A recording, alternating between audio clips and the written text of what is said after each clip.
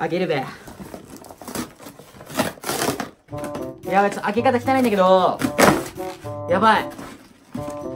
来てしまったかもしれない、これは。俺の時代。届いたー任天堂スイッチライトちょ、こっち、こっちだね。任天堂スイッチライトが届きましたおめでとう !3 日ぐらい待ったな携帯のカメラで撮ったんですけど、ちょっと撮れてないな。うまいこと。はい。はい。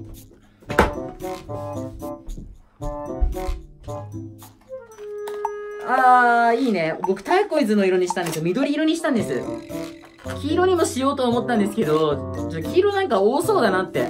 人と被るのがあんま好きじゃないから、黄色誰かと被るの嫌だなと思ったので、ちょっとターコイズにしました。ターコイズの方が少ないイメージがあってね。色も綺麗だし、はい。こっちにしましたね。こんな感じ。大きさで言うとどんくらいだろう？待って。ちっちゃい。ちっちゃい。ほんとにちっちゃくない？あ、すごい。なんか見える。ああ、自分が映ってる場所を移動しました。えっ、ー、と、僕がいつも撮影をしている撮影ルーム、パソコンエリアなんですけど、はい、ニンテンドースイッチ、お、画面が見える。でですね、ニンテンドースイッチライトなんですけど、まあ、ちょっと反射しちゃって、俺が今見てる画面映っちゃうかな。後ろでいいかな。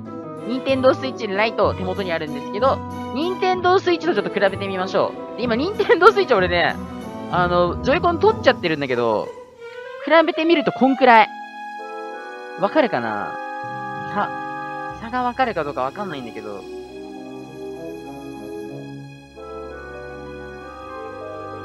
ニンテンドースイッチがこのくらいで、ニンテンドースイッチライトがこのくらいですね。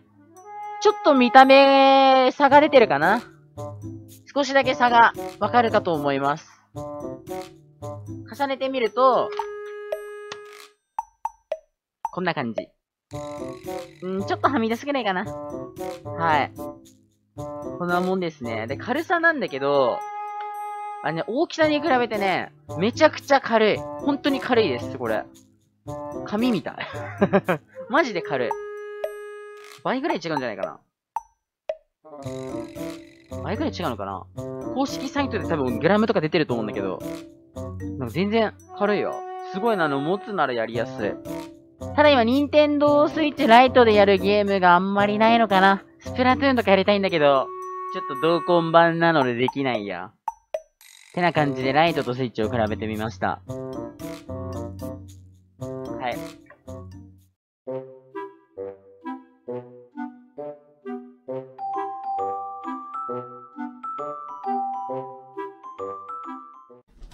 全然違う。ほら見て。この、見えますかね？わかりますかね？太もも、太ももよりね、あの、ちっちゃい。俺の太もも。